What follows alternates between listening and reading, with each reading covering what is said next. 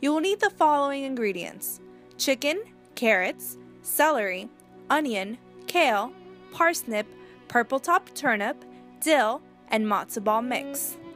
Step 1 Fill pot with water and bring to a high boil. Step 2 Place your chicken in a pot in medium heat. Begin prepping your matzo ball mix. You will need two eggs, oil, and water. Once mixed, place in the fridge. Make sure all your vegetables are clean and cut. Peel your carrots, parsnip, purple top turnips, and wash your greens. Step 3. Remove your chicken from the pot and let it cool. Now you can begin adding all of your vegetables to your soup.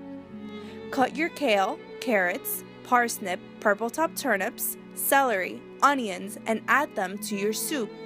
Don't forget to turn and mix. Place all your ingredients in the pot. Don't forget to check on your matzo ball mix in the fridge.